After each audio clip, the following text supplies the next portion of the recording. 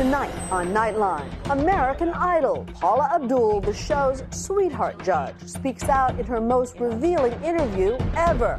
It's Paula Abdul as you've never seen her before in tonight's exclusive Nightline interview.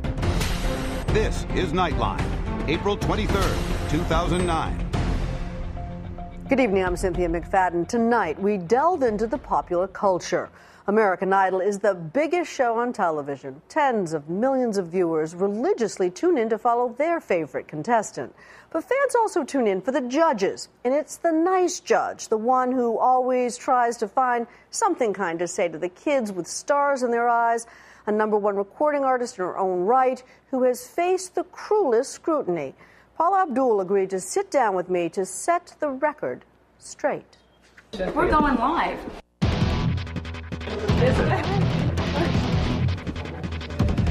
We're going to touch up really quickly. This is backstage to, uh, which is my home away from home, for eight years now, and uh, each year it gets bigger and bigger. This is American Idol. We are backstage in Los Angeles at the number one television show in the country, American Idol, with the controversial, unsinkable Paula Abdul. For a backstage tour and a no holds barred interview. And this is where we all kind of congregate right before the show, and then the judges, we walk up behind the curtains, and the doors open up, and we're, we're like this. And Simon grabs my hand and messes with me. Please welcome your judges. Simon, of course, is Simon Cowell, who for eight seasons has played her foil, supporter, You were actually funny. Shut up, You were. and tormentor. I'm not accusing you. Simon, I don't have a problem saying anything in front of your face. Are you nervous? I'm, I'm not nervous. I'm more nervous about what is he going to try to do to uh, mess me up. The possibilities are endless, it seems, in that regard. There was the night just a few weeks ago he drew a mustache on her. And just this week, he was at it again. Sorry, Chris, I have no idea what that meant. He meant. shops in women's. Anyway. No, he doesn't. No worries. Chris, um, that. Oh, sh- Paula. She certainly worked hard to earn her seat at the idol table as the nice judge. And There's no doubt America is loving you right now. From her days as a Laker girl award winning choreographer and top selling recording artist. 20 years ago, her single Straight Up went all the way to number one.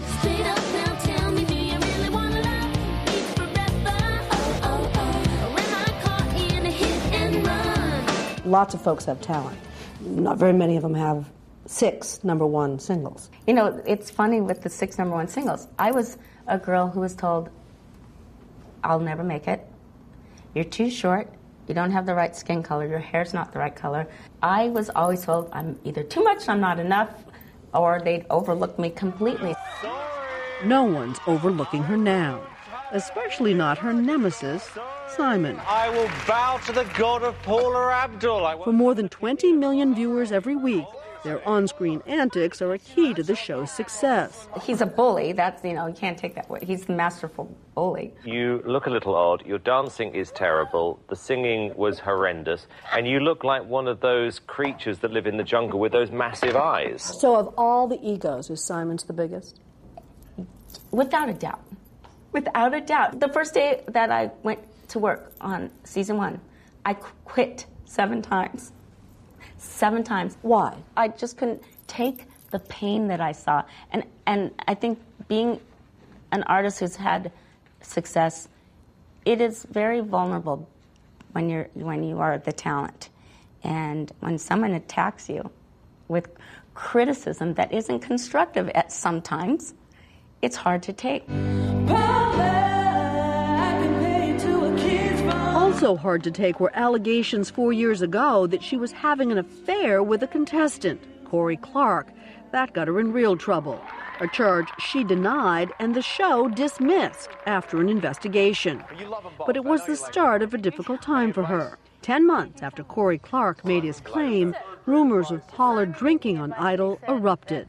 The night she foolishly repeated some gibberish Simon told her. The moth who finds the melon. No, finds the cornflake. Finds the cornflake. Always, Always finds, finds the, the melon. melon. And one What? of one of you didn't get the right. Um, After the show, the press pounced.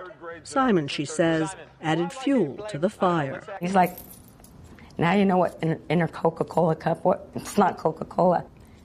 All of a sudden, unbeknownst to me, I, I am now part of a funny joke that's gone so far. But when her reality show, Hey Paula, hit the airwaves nearly a year and a half later, something did seem terribly wrong. I need help.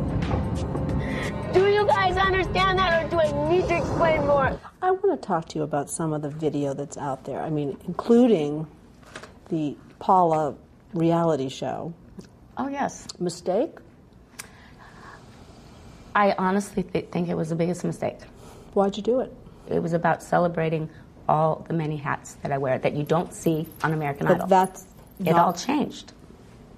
It all changed, and it Because started- with respect, you look many times during this broadcast. Loopy would be the nicest way to put it. Sex pot. Let me tell you that. And every every man's gonna want to smell smell that. When I looked at these tapes all together, when I looked at them, I couldn't believe what I'm seeing. I said to myself, what would Paula say about this girl that she was looking at? I, I tell you, I was I was That angry. the I was girl that you see on the tape looks like she needs help from somebody. I've never been addicted to any prescription drugs. I've never been drunk. I've worked my whole life. I sacrificed being a normal girl and not having the ability to have proper relationships, not being able to be a mom, a real mom. I am fortunate and feel completely blessed, in, but I'm not the girl that's in those tapes.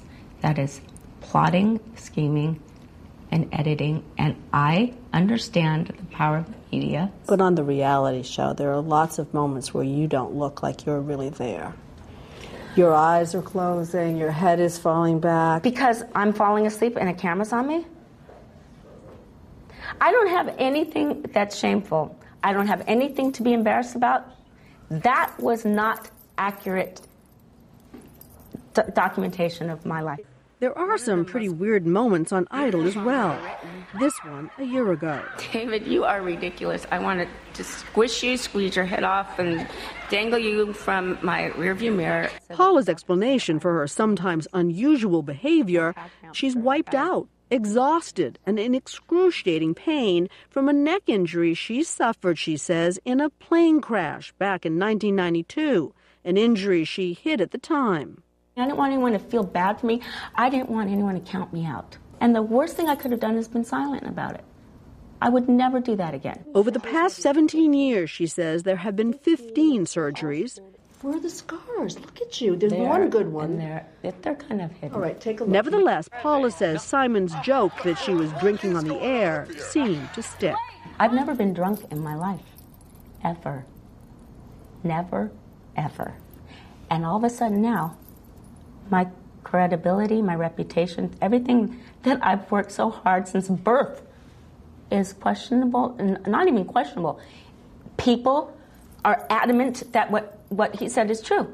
Well, people are still adamant that what he said is true.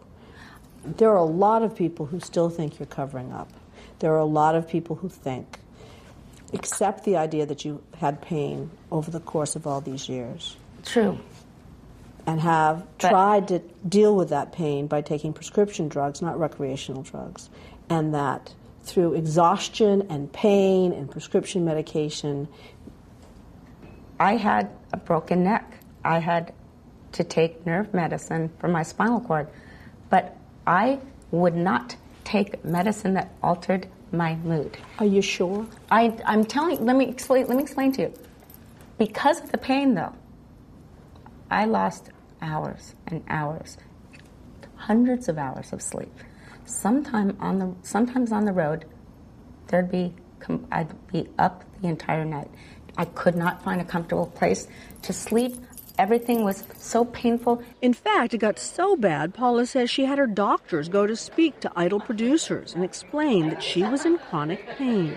The doctor said to the producers, when this is happening, be mindful of it and respectful that she may start chattering away with her teeth because the spinal cord fluid, or if she hasn't slept, she's got to feel confident and comfortable that she lets you know, be mind, I have not slept. Therefore, cover me and protect me. It's not my fault. Well, they say that they did, and I say, well, that's questionable. So, I guess my question to you is I mean, there'd be no dishonor in taking pain medication if you're in I'm pain. not. I no. I have. To, I I have to. I just came out of my 15th surgery. I have to take Vicodin, No. Oxycontin, No. those drugs? No, no, no, no, no. We will not take those drugs. And you can check my medical records. There is nothing like that. I'm off every single. I never was on OxyContin or Vicodin or any of that. I was on nerve medicine and anti-inflammatories.